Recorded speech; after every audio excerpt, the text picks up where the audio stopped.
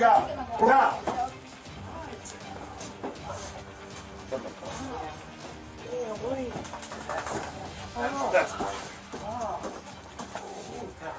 Shocking video of a drug bust shows police apprehending a suspect who was hiding inside a dryer. Hiding in the dryer. Oh what are you doing, dude?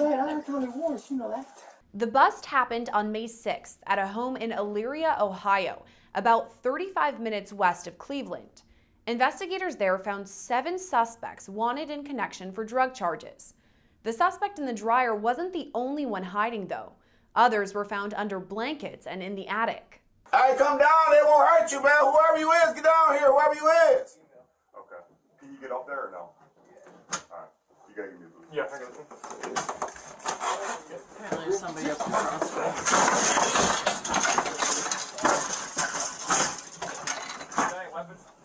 Who else is up here? Is it normal to hide in the attic?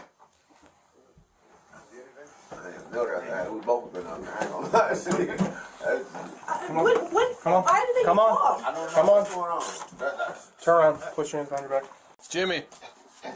Wake up, bud. Come on, dude. Wake up, wake up, wake up. Wake up. Stand back up for me, please? You're not, you're not under arrest. Just stand up for me. Police identified the man in the dryer as Michael McCloskey. Jason Smith was the one found under blankets, Stephanie Price in the attic, and Brandon Sherrill under the stairs.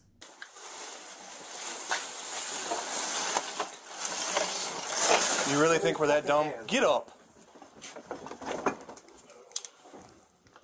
Stand up.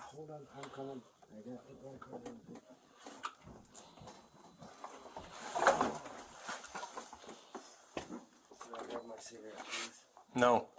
Come out. Sherrill can even be seen on body camera video lighting up a cigarette moments before he's handcuffed. Don't worry about your cigarette. Let's go. go on.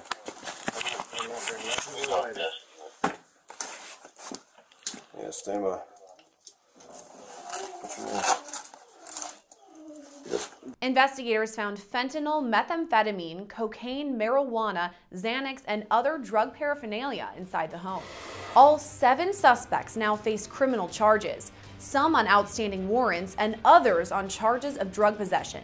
Reporting for Law and Crime Network, I'm Sierra Gillespie.